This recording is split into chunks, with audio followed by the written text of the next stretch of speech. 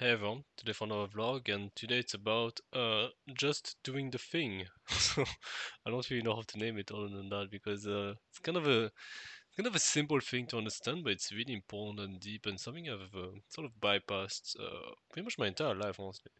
It's like um the, the the setup is quite simple, you know. At the end of the day, no amount of planning or preparation can bypass the fact that you have to do the thing, which is often quite uncomfortable, right? Otherwise, like you wouldn't prepare or plan for it. Now, for example, you know, a lot of like guys try to like memorize pickup lines for like dating and stuff. Like it, it never works that way, right? I mean, it can have its value. Over, I think in this specific example, I would say no, but um, you know, preparation has its values, but like often, often it's it's often like an avoidance or like trying to sort of deny or like run away from fear. But in reality, like th- th- there really is no like bypassing the fear. It's just, I mean, that's what courage is about. It's about like facing the fear because uh, trying to avoid it would just make things worse. So yeah, you know, like at the end of the day, you just can't bypass doing the thing. Like there are going to be things that are scary in life, and that's just how it is. And I noticed that like I've always like sort of tried try to like take the the roundabout way. Uh, it's a very like uh, air thing or like thing of like the four elements. It's very much the the airbender approach as opposed to like earthbending, which, which would just be like facing your problems head on, uh, just being very stubborn about them, but like until you solve them. Uh, both of them have their values, of course. You know, like the more crafty and uh, you know, it ha- there, there are many situations where it's useful, but sometimes you just need a very a very straight up, you know, very straight up, just forward facing approach, which is you know just doing the thing And uh, another example besides the dating example is that, you know, at the end of the day, creative work just requires you to do the thing. And I think it's, it's good to like get into the mindset of just like just doing the thing, even if it's like not good, doesn't meet your expectations, whatever. Uh, just doing the thing, it's very valuable. Um, like there's there's a related thing where like I think I've talked about it in some blog, but I don't remember which one. But it was about knots. It was probably like in the white period, I think, uh, or yellow uh, or maybe red. Actually, I don't remember. Uh, but the the thing about knots, what I was talking about, is like a knot is a specific type of tiredness or like blockage in your life where it doesn't get resolved by taking a nap or just waiting. It gets resolved by untangling the knot. So it's like that's why I use that term. And it's it's a really huge thing to understand because you know a lot of times people what they do when they're tired is that they'll be like you know I'll just take a nap and will, it will get better and uh, I will only do the thing when I don't feel as tired. But the thing is that oftentimes knots come from like unresolved projects that are not moving forward.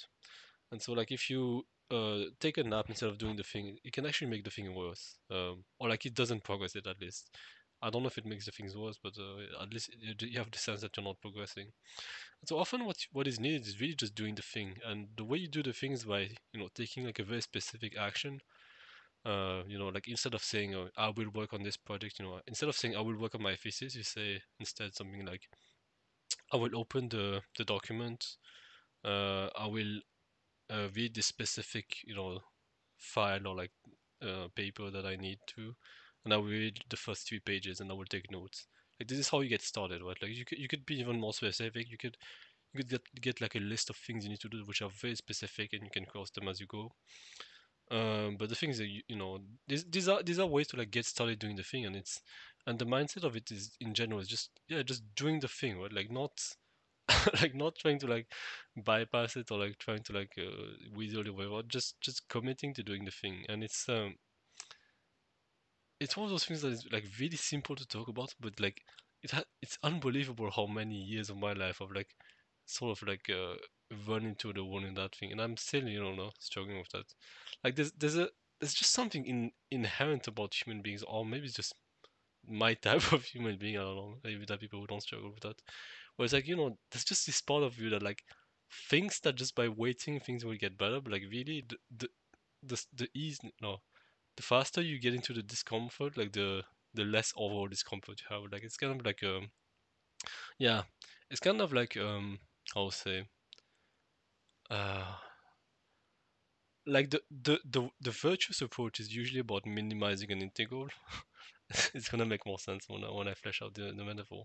Whereas the the sort of like most naive one is about like minimizing the the present day uh, discomfort, if that makes sense, right? So it's like by default, what we tend to do as human beings that we, we tend to like minimize the, the current uh, discomfort, right? Which is like imagine like you have like the x-axis, which is time, and the y-axis is discomfort. What we tend to do is like trying to minimize the the current, you know, like present discomfort.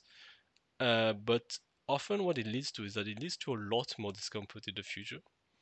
Uh, and whereas like the more virtuous, like more the more like wise approach in life is usually to like, you know, obviously you don't always to expose yourself to discomfort for no reason, right? But like there are many times where it's just a lot better if you do it right away. And so like you, you could think of like the the integral over like the long term, you know, like the the area under the curve of the discomfort is a lot less if you go that way, right? It's a, I don't know if that metaphor makes a lot of sense to non-math people, but uh, broadly speaking, what wisdom seems to be about, you know, just having like a longer time preference, a longer time window. You, you know, you, you don't make decisions just based on like the present moment, which does matter. You know, there are many moments where it does matter to just think about the present moment. You know, like if there's a there's a bear running at you, you're not gonna think about long-term plans. You have to run away. Uh, actually, I don't know. I guess, I guess I don't know if you run away from a bear because bears are incredibly fucking fast.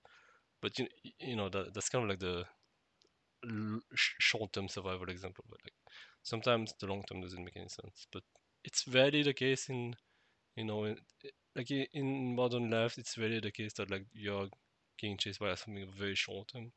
Usually the problems you deal with they're more like chronic and they're more like in the realm of like you know some type of blindness or like some type of thing you don't want to admit or do and yeah just learning to doing the things is very very helpful i find um so like a few tips that are useful is like yeah once again it's like the classic uh, uh, project management or self-help tips but they're really useful to like internalize and uh, the, the first one i gave was the uh, breaking it down to very specific steps that's really really important uh, the second one is uh, you could say lowering the barrier of entry, but like instead of trying to have all the perfect circumstances, you just you just do the thing. If it's like you know, if, if you're like seventy, if you're like sixty percent, seventy percent okay to do it, you just do it. Uh, yeah, and uh, I mean, I guess there are many other small tricks. But like the third one, you could say is like designing your environment such that it's easy to do the thing, such that it's easy to get started. Uh, you know, like if it takes you like two minutes to pull out your sketchbook and get your stuff ready, like you, you could you could make it so that you never have to spend those two minutes by making the sketchbook you know always on the table or like always within reach. And the the friction makes a huge difference. Um, like it's it's quite unbelievable how much like five minutes of friction, like friction is what you have to do before you get started, uh, can make a huge difference like compared to like one minute. So, like in absolute terms, they don't really mean a lot well, because obviously five minutes compared to one minute it's not uh, doesn't really mean anything but in terms of like um, i'm not really sure what's, what would be the way to phrase it it's like perceived emotional costs like uh, it feels like a of feels like to your system it's it's a huge investment to to do the thing if you have like to spend like five minutes getting ready and you know do, do the whole thing. Whereas if you could just get started and you know just dive into the pool so to speak like in other words you kind of want to make jumping into the pool easy overall. That's kind of like what uh, just doing things uh, is about. Uh you know obviously you could you could also say that you know it, it would be easier to jump into the pool if it was warm for instance but but if you can make it in any if you can make it easier in any way possible it's always valuable. And um, yeah it's it, it compounds very very rapidly. Like uh, you know I, I remember really struggling to like write anything uh, before like read Atomic Habits, and like once I read that book, I was significantly better at like getting uh, just stuff done in terms of like you know writing things down.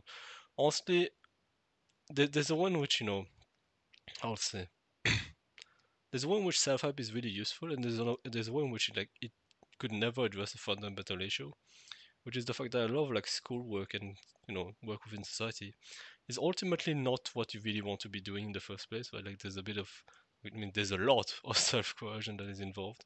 So like th- there's a way in which that is never addressed in those things, but like it, it is it is useful to be functional it's it's better to be functional and then learn how to live without the self coercion of society than it is to like never learn that. I would say like it's usually it's usually the route that people take in life, uh, in my experience. At least that's how the people I know are sort of like you know steered themselves. It's like you know it's like yeah, first you don't really do the thing you want to, and it's kind of a shame. It would be much better if we lived in a world where we didn't have to do that, but that's usually what happens. And then once people are in a better uh, situation, they you know they start sort of switching fuel, so to speak. Right? So like instead of having the fuel of self coercion, they just uh, do things that interest them because they can afford to, right? Because they're in a situation they can afford to and such. So yeah, I don't think I have much to add, but like I guess the takeaway is that um, there is really no bypassing courage.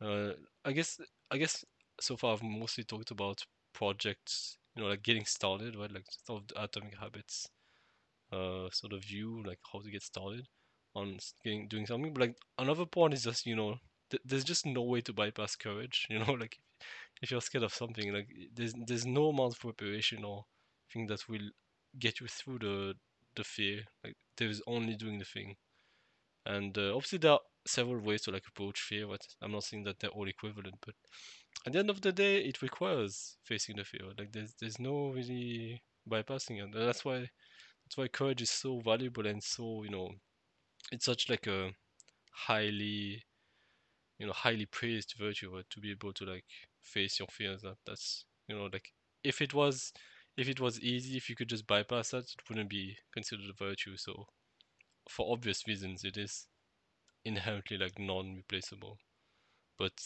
you know it's, it's something that you i think the type of people i'm part of you know like very intellectual trying to solve problems with your mind like it cannot tends to be blind to that right? The fact that courage is not courage is not something you can like uh, sort of replicate. It's just something you embody or not. So yeah it's about everything I had for, for today. Uh, thank you for listening and i'll see you next time